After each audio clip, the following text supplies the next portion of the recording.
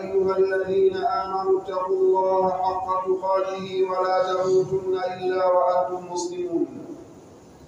ويقول سبحانه يا أيها الذين آمنوا اتقوا الله ولتنظر نفس ما قدمت لغد واتقوا الله إن الله خبير بما تعملون. يا أيها الذين آمنوا اتقوا الله وقولوا قولا سديدا. يصلح لكم أعمالكم ويغفر لكم ذنوبكم. ومن يطع الله ورسوله فقد فاز فوزا عظيما. اللهم اجعلنا من الفائزين في الدنيا والآخرة. أما بعد فيا عباد الله أولا أوصيكم ونفسي بتقوى الله والعمل بما فيه رضاه فاتقوا الله وراقبوه وامتثلوا أوامره ولا تعصوه. واذكروه ولا تنسوه واشكروه ولا تكفروه. لقصان الاسلام بعد ان شكروا الله سبحانه وتعالى كما نستحق بشكوره pamoja na kumswalia bwana mtume Muhammad sallallahu alayhi wasallam enyi waja wa kwanza kabisa na kuhusieni pamoja na kuihusia nafsi yangu juu ya swala zima la kumcha Allah subhanahu wa ta'ala. Mwogopeni Allah mola wenu mtukufu, tekelezeni maamrisho yake na jitengeni na makatazo yake. Mtajeni Allah subhanahu wa ta'ala, wala msimsahau, na mshukuruni kwa neema zake juu yenu, wala msimkufuru. Ayuha almuslimun موضوع خطبتنا اليوم بإذن الله سبحانه وتعالى سنتحدث عن فضائل حضور الجنازة وآدابه ndugu zangu Waislamu, ama katika hutuba yetu ya leo tutazungumza juu ya swala zima adabu za kuhudhuria katika msiba au fadhila za kuhudhuria katika msiba na adabu zake fadhila za kuhudhuria kwenye msiba, lakini vile vile na adabu za kuhudhuria katika msiba.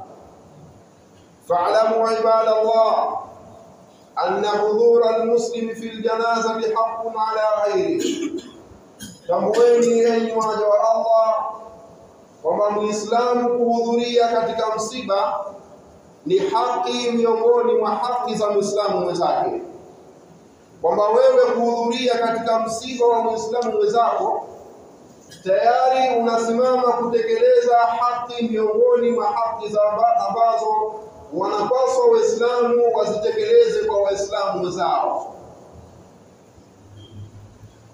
Na baada ya mtu kufariki, basi kuna mambo manne muhimu anatakikana kila mmoja afanyiwe. Jambo la kwanza ni maiti baada ya kufa tu au mwanadamu baada ya kufa tu. Jambo la mwanzo ambalo kwamba wale walio hai wanatakikana kumfanyia maiti taksiluhu, basi ni kumuosha. Ama al-amru thania fatakfinu, ama jambo la pili ambalo kwamba linatakikana kufanywa basi ni kumvisha sanda. Al-amru thalith as-salatu alayhi jambo la tatu ni kumswalia. Walamru rabi walakhir dafnuhu na jambo la nne na la mwisho basi ni kumzika. Kwa hiyo mwanadamu anapotekelezewa mambo haya tayari wale walio hai wamemtekelezea mambo ambayo yanatakikana kutekelezewa kila mmoja baada ya kufa kwake. Lakini ndugu zangu waislamu pamoja na kuhudhuria katika misiba kila leo kila wakati. Lakini bado waislamu wa sasa hivi tunaona kama kwamba kuhudhuria katika msiba ni jambo tu la kawaida. Na wengi katika waislamu wa leo tunahudhuria katika msiba kiwiliwili wala hatuhudhurii kiwiliwili na nyoyo zetu. Wengi waislamu wa leo tunahudhuria katika misiba katika kwa viwiliwili tu wala nyoyo zetu hazipo katika misiba bali nyoyo zetu zinakuwa mbali na swala zima la msiba na hii inawezekana ni kutokana na watu kutokuelewa kwamba fadhila zinazopatikana juu ya swala zima la kuhudhuria katika msiba.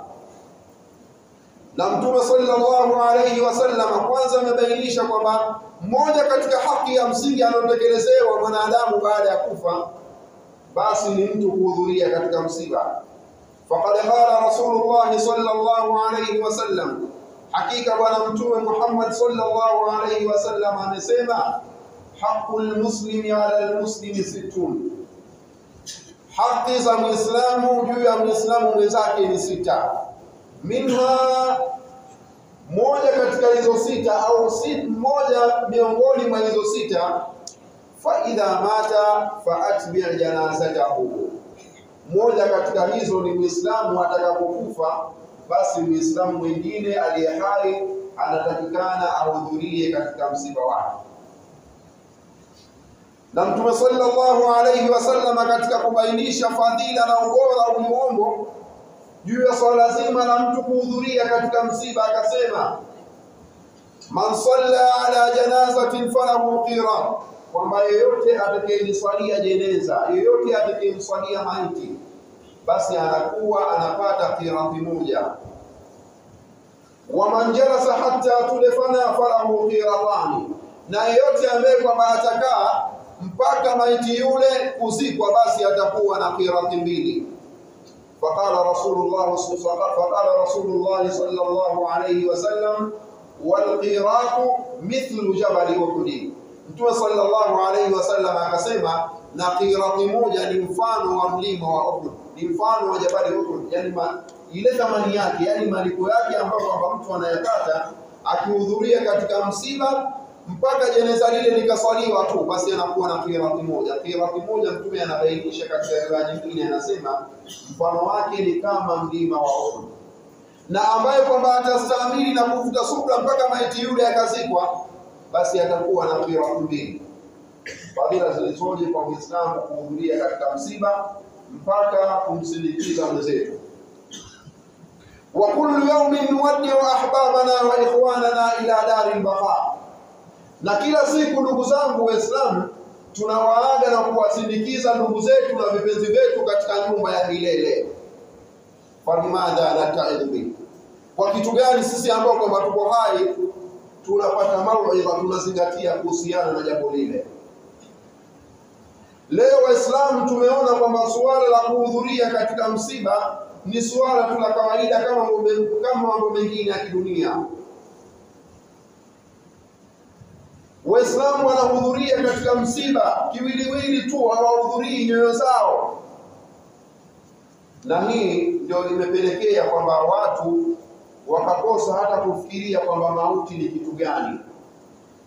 Mtume sallallahu alaihi wasallam anawaambia Waislamu, akthiru dhikra hadi min ladhat, kithirisheni kulitaja au kulitaja jambo ambalo linakata starehe zote za dunia, wa huwa al-maut. Kwa hiyo ikiwa Muislamu atahudhuria katika msiba wa mwenzake kiwiliwili tu, bali bila kuhudhuria katika moyo, anakuwa hata huo msiba ambao kwamba utamfika yeye, anakuwa hafikirii, hazingatii. Na ndio leo tuna, tunaona sehemu zote katika jamii zetu misiba inatokea kila wakati, wanaondoka ndugu, vipenzi vyetu, marafiki zetu, lakini bado jamii iko kule kule ambapo kwamba iko. Hatuzingatii kwa misiba ile ambayo kwamba inatokea, bali mtu anahudhuria katika msiba kwenye mambo manne ambayo kwamba tumeyataja, Muislamu anatakikana ayafanye. Yeye anakuja mtu eh, mtu anakuja katika msiba, hata moja katika hayo yeye hajafanya lolote. Kuosha haoshi, wala kumswalia hamswalii kumvisha sada hamvishi, wala kumzika hamziki, na anajihesabu kwamba yeye kaacha shughuli zake, amekuwa na msibani. Na mambo haya manne mara nyingi sana ambalo kwamba tunapata sote ni jambo la kumswalia, kwa sababu siku zote mtu anapofariki kuoshewa, mara nyingi sana anaoshewa na jamaa zake, vile vile kuvishwa sana anavishwa na jamaa zake hata ili jambo la mwisho la kuzikwa, basi anazikwa na jamaa zake, ndio ambao kwamba wanasimama na kuwa mstari wa mbele kukamilisha mambo haya. Jambo ambalo kwamba linakuwa ni la wote ni swala zima la kumswalia maiti. Lakini tukiangalia katika jamii zetu, ndugu zangu Waislamu, tunakuwa ni wepesi wa kubeba majeneza na kuwahudhurisha misikitini. Baada ya jeneza lile likihudhuria katika msikiti, tunawaona Waislamu wanagawika makundi, wengine wapo upande huu, wengine wapo upande ule, wengine wapo upande mwingine. Wanasubiria nini? Aswaliwe, alafu wao mstari wa mbele kubeba mbio nyingi sana.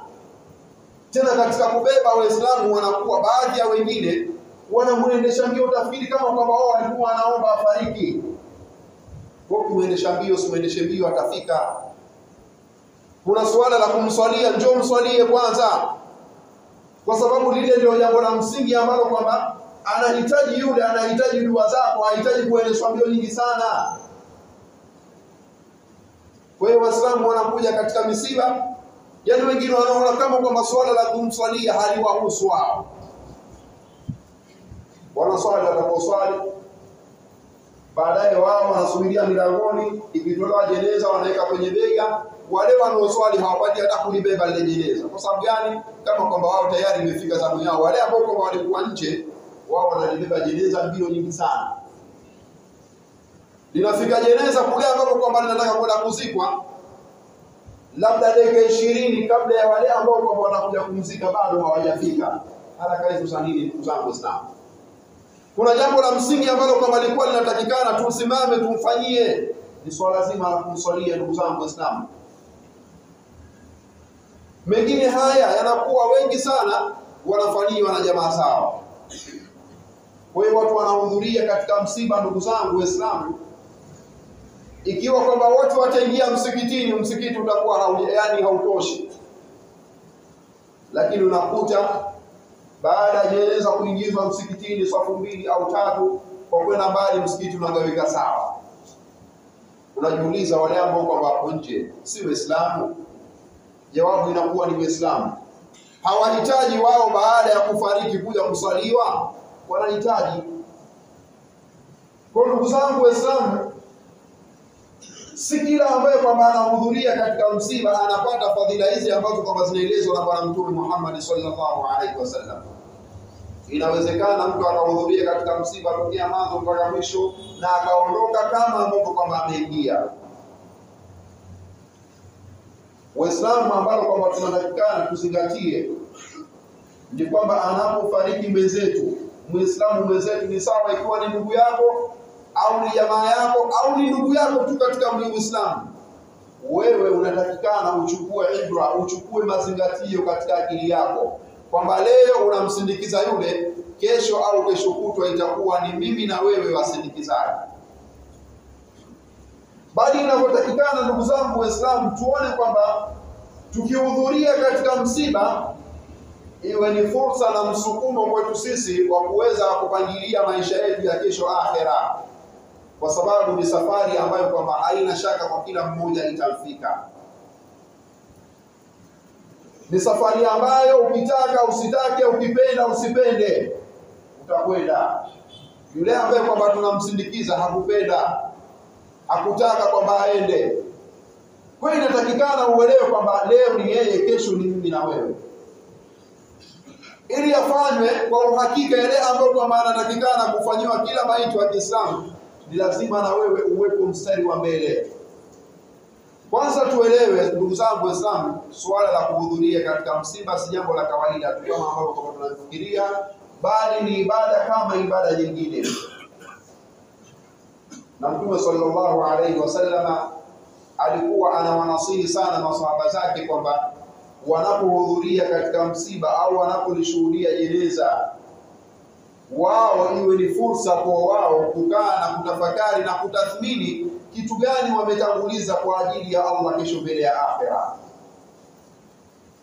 Akthiru dhikra hadhihi ladhat, kithirisheni kutaja kitu ambacho kinakata ladha zote za dunia, nayo ni mauti.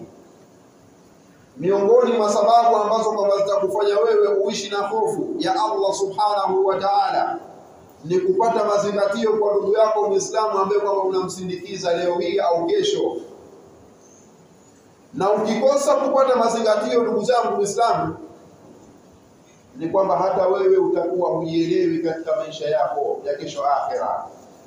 Na ndio maana watu wamekosa ile hofu ya kuhofia kesho akhera, kwa sababu hawana habari na maisha haya ya dunia, hawana habari na mauti ambayo kwamba tunayashuhudia kila leo. Ndugu zetu wanaondoka, Waislamu wenzetu tunawasindikiza. Kitu gani tunajifunza kupitia kwao? Kwa hiyo kama ambavyo kwao wao wameondoka na tunawasindikiza, itafika siku sisi tutaondoka na wengine watatusindikiza, kama ambavyo wao tutawataja ima kwa wema ima kwa ubaya baada ya kuondoka. Ndio hivyo hivyo ambapo kwamba tutakuja tajwa mimi na wewe. La msingi, ndugu yangu Muislamu, ni kila mmoja akae tayari na safari ambayo haina shaka kutokea mbele yake. Tunamuomba Allah subhanahu wa ta'ala awajalie ndugu zetu Waislamu waliotangulia mbele ya haki, awaeke katika makazi yenye kuridhisha. Ya Rabbi, tunakuomba kwa rehema zako na utukufu wako utujalie mwisho mwema wa hapa duniani na kesho akhera. Nafani Allah wa iyyakum bihadi kitabi aqulu qawli hadha wa astaghfirullah al-azim li wa lakum fastaghfiruhu yaghfir lakum innahu huwal ghafurur rahim wad'uhu yastajib lakum innahu huwal barrul karim ادعوا الله وأنتم موقنون بالاجابه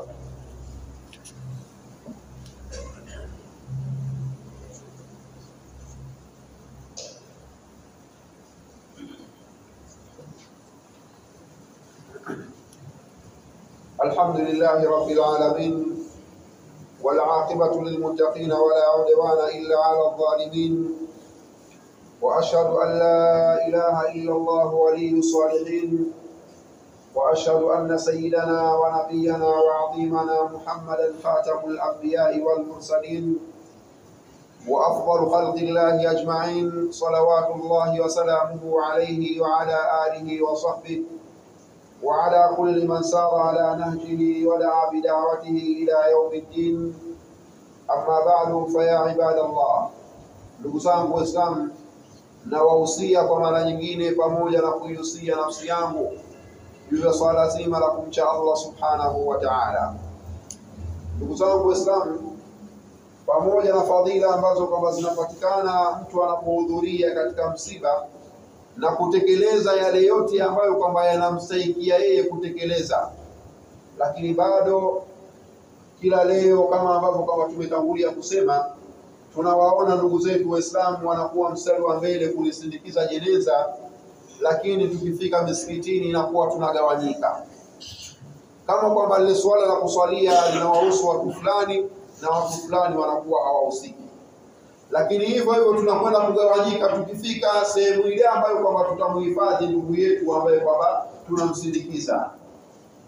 Utawakuta watu wengine, msiba unaendelea, baada ya yeye kwamba moyo wake uwepo katika swala zima la msiba mpaka aondoke wengine wanakaa pembeni, wengine wanakuwa na simu zao wanachati mambo mengine ya kidunia.